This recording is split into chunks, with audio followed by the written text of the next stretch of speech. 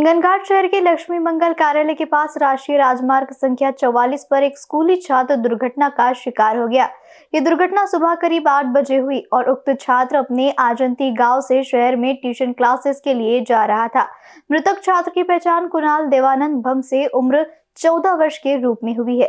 राष्ट्रीय राजमार्ग पर सड़क पार करते समय तेज रफ्तार ट्रक ने साइकिल को टक्कर मार दी, जिससे घटना पर ही छात्र की मृत्यु हो गई। कुणाल सुबह ट्यूशन क्लास जाने के लिए करीब सात बजे आजंती से निकला था। मृतक कुणाल शहर के डॉक्टर आम्बेडकर कॉलेज में आठवीं कक्षा का छात्र है और शहर आने के बाद राष्ट्रीय राजमार्ग पर सड़क पार करते समय यह दुर्भाग्यपूर्ण घटना घटी।